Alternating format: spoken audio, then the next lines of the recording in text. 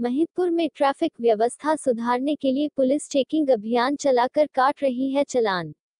महिदपुर शहर में पुलिस विभाग द्वारा विभिन्न क्षेत्रों में वाहन चालकों के खिलाफ चेकिंग अभियान चलाकर चलाने कार्यवाही की जा रही है।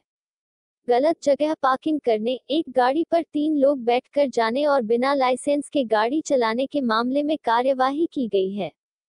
वियो महिदपुर शहर में बिगती ट्रैफ़िक व्यवस्था को सुधारने के लिए महितपुर पुलिस द्वारा मुहिम चलाते हुए चालानी कार्यवाही की जा रही है। थाना प्रभारी दिनेश भोजक ने जानकारी देते हुए बताया कि महितपुर शहर में वाहन चालक कहीं भी अपने वाहन खड़े कर चले जाते हैं, जिससे ट्रैफ़िक जाम की स्थिति बन जाती है। ऐसे में शहर की ट्रैफ़िक व्यवस्था सुधारने के लिए पुलिस विभाग द्वारा एक मुहिम चलाई जा रही है। जिसके तहत बाज़ार में खड़े वाहन चालकों को हिदायत देकर चालानी कार्यवाही की गई है। साथ ही चिन्हित पार्किंग स्थल पर गाड़ी खड़ी करने के लिए जागरूक किया जा रहा है।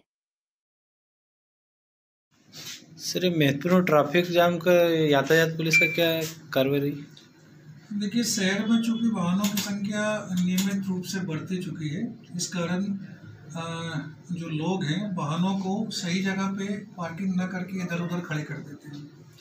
अधिकांश मेरे देखने में आ रहा है कि शहर में इसी कारण ट्रैफ़िक जाम हो रहा है।